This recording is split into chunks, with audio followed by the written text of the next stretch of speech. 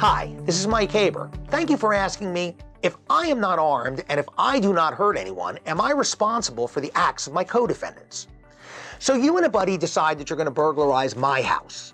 You specifically agree beforehand no one is going to carry a weapon, and if anybody's at home, you're going to hightail it and run. But, as often is the case, things don't go as planned. So, when you get inside, not only am I home, but I confront you. And then, to your surprise, your buddy pulls out a knife, and to his surprise, I pull out a shotgun. Knowing that I've already called the cops and they're on their way, I decide to hold you there at gunpoint. And when the cops show up, both you and your buddy are arrested. The bad news is you're both going to be charged with armed occupied residential burglary, and you're both going to face life in prison.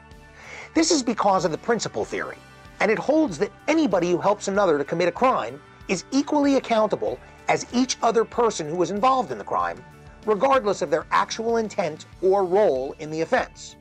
It doesn't matter that you were not armed, and it doesn't matter that you had specifically agreed that no one would be armed. In Florida, you're going to be held equally accountable for all of the actions of your co-defendants. So, when you were a kid and your parents told you that you would be judged by the company that you kept, they weren't joking.